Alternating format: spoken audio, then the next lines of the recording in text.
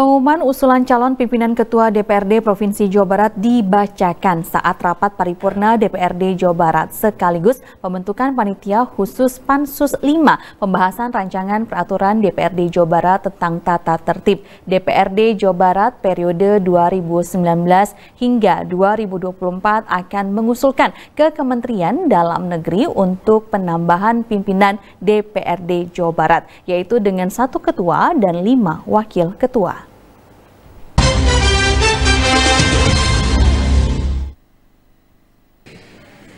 Pengumuman usulan calon pimpinan DPRD Provinsi Jawa Barat dibacakan saat rapat paripurna DPRD Jabar sekaligus pembentukan panitia khusus atau Pansus 5 pembahasan rancangan peraturan DPRD Jabar tentang tata tertib.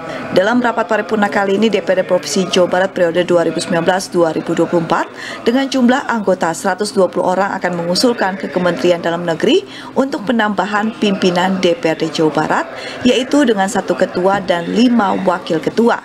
Nantinya usulan tersebut akan dikonsultasikan ke Kementerian Dalam Negeri apakah disetujui atau tidak.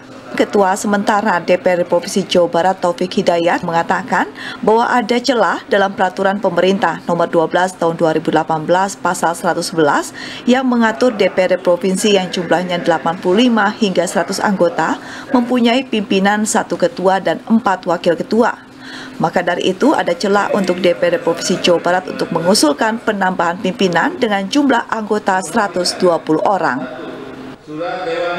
Ya kita baru diusulkan nanti keputusan dari Mendagri. Ya. Sekarang untuk hanya mengusulkan saja. Mengusulkan. Apa mengusulkan jadi enam?